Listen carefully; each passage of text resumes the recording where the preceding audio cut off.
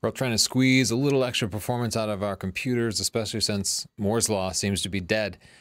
One of the ways you can do it is by upgrading to a faster hard drive, because while processors have leveled out, hard drives keep getting faster and faster and faster. Recently, Justin got this new computer here, this Monster Origin. Technically, it's a desktop, though it looks like a laptop. We'll have a whole review on that. Um, but it has three types of drives in it a conventional magnetic hard drive, um, a flash drive, an SSD drive, and an M.2 drive which offer increasing performance and cost. So here's kind of what the performance looks like on like a raw, low level measurement, just throughput, where here the bigger lines are better performance. At the top, you have the standard hard drive. In the middle, you have the SSD drive, which has become standard for a lot of computers now. And in the bottom, you have the new M.2 drives, which are these little memory chips. They look just like the memory chips in your computer, except the little connectors are on the end of it. Um, so you can see the new M2 drives dramatically faster. The SSD drives are also dramatically faster than the magnetic drive. So this is shows a huge performance increase, right? Like an order of magnitude faster. We'd really hoped to see that that performance would show up when we did application-based higher-level benchmarks, specifically around 4K video editing and photo editing in Adobe Lightroom. And we didn't really see too much of that. Um, here's the render time for a 4K video that we put together, a fairly complex 4K video that had, um, you know, some Lumetri grading and titles and things like that. And you can see the faster drives definitely decrease performance. The SSD drive was about 10% faster than our magnetic drive, and the M.2 drive was about 10% faster than the SSD. So if you're sizing up these upgrades, and I'll give you prices in a second, know that it's only going to get you like 10 or maybe 20% better performance. It's going to vary depending on your configuration, sure. So you'll see a little bit better render times. And you'll see some of that as far as actually scrubbing video, doing the actual editing. You will see a little bit better performance, but it might not even be um, this extreme of a difference. Lightroom imports, every photographer knows it's just a terrible process waiting for your pictures to import because you're all excited to look for look through them and we're always looking for ways to get to those pictures faster. We found that upgrading from a magnetic drive to an SSD made a little bit of a difference. We're talking like 5 to 10% here. Um, we didn't see any difference going to an M.2 drive. In fact, for some reason, our tests, our M.2 drive actually slowed things down a little bit. And I can't fully explain that. It's within the margin of error, though. It was just within a couple of percents difference. So I wouldn't consider the M.2 drive to be slower than the SSD but it's certainly it's not substantially faster. Um, certainly it wouldn't justify the cost of upgrading if you're a photographer looking to improve Lightroom performance. Stick with the SSD. Don't bother upgrading to an M2 drive. Culling Lightroom showed similar results. Culling is the process of after you've imported your pictures, after you've rendered those one-to-one previews, of going through and selecting them. It can be really slow to just go through picture by picture by picture. I used 50 megapixel 5DSR pictures for this just as the most extreme example. And again, the M2 drive really didn't it didn't improve the performance. In fact, for some reason, it was a tiny, tiny bit slower, but it's close enough just to call it even. The magnetic drive was a little bit slower. Um, why are the drives so much faster and we're not seeing that performance benefit at the application level? The, the reason is that there are multiple different benchmarks, uh, multiple different bottlenecks in any computer. In the case of both Lightroom and Premiere, the biggest bottleneck is the computer's CPU, the processor. And this has basically a top spec desktop CPU in it, and it's overclocked, and it's water cooled.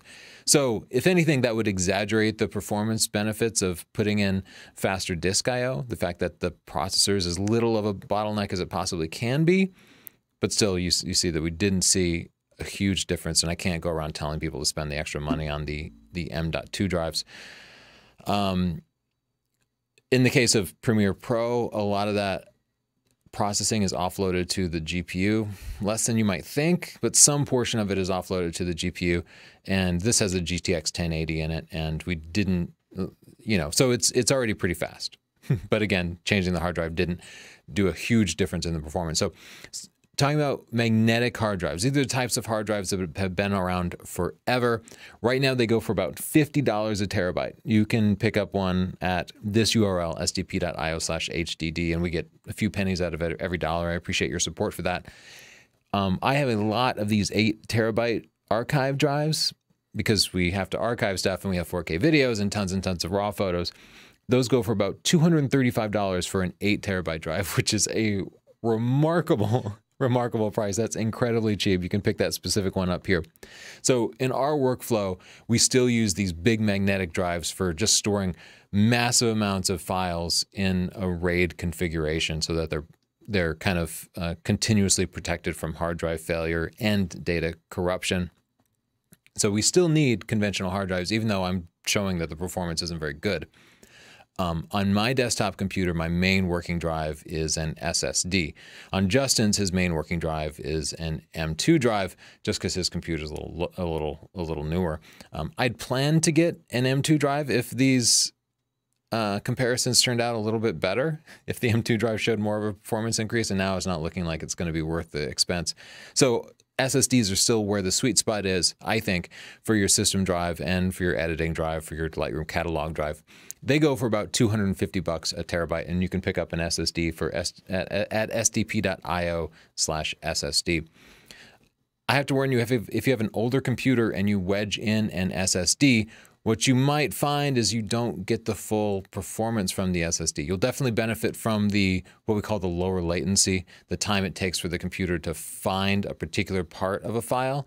That's always going to be faster than a hard drive. However, older computers might have older drive interfaces that can't keep up with the high throughput of these drives. So you might put it in there and then see that the performance benefit is even less than we already showed. It's probably always going to be faster than a magnetic drive, but the differences are going to be really slight, so you might not actually see much pop.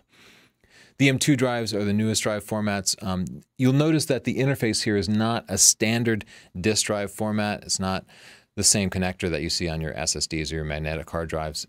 That means that you need a special connector for it. So there are two ways you can get M2 drives into your computers. You might have a new computer like this that has an M2 slot in it. This one actually has two M2 slots in it, so we have them RAIDed. And then you can just put it right in there, no problem. If you don't, you can get a PCI adapter that goes into your computer and allows you to connect one or two M2 drives there. If you do that, beware though, because all this fast M2 data is being channeled through your PCI bus. And that means that your PCI bus has the potential to become a bottleneck. Again, if you have an older computer, you're not going to see a huge performance benefit because the drive isn't going to be able to unleash its full performance because it's going to be going through this tiny little PCI channel. The prices on M2 drives are staggering compared to what they are for the other types of drives. 500 bucks a terabyte. That would get you 16 terabytes of storage from a magnetic, con a conventional magnetic drive. Um, or if you get the two terabyte one that I actually want, it costs over $1,500. You can pick it up at, at this link here. So as I've been saying, there can be multiple different bottlenecks. I we tested this one specific computer, and because everything in it is brand new and top spec, it's actually going to exaggerate the differences. We didn't find big differences, but if you have an older computer, the differences you see might actually be less. I also say the magnetic drive we tested was 7200 RPM, a 7200 RPM desktop drive.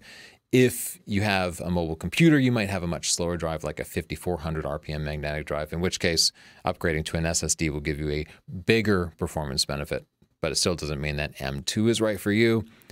Um, and I'll also say not all drives of these classes are equal, besides the difference between 5400 RPM and 7200 RPM drives. Uh, different SSD drives can vary in performance some, and different M2 drives can vary in performance some we use these specific uh, examples to kind of generalize. Um, but I'll also say the differences between M2 drives are pretty slight, especially compared to the differences between a magnetic drive and an M2 drive or an SSD and an M2 drive. If you want more detailed information about building out computers for video editing or or photos, photo editing, go visit sdp.io slash desktops if you're building a desktop rig or sdp.io slash laptop if you're looking to buy a laptop for these purposes. And do me a favor, just subscribe to our channel. Lots of techie good stuff. Uh, we tune the heck out of our computers and we'll try to help you do so too. Thanks. Bye.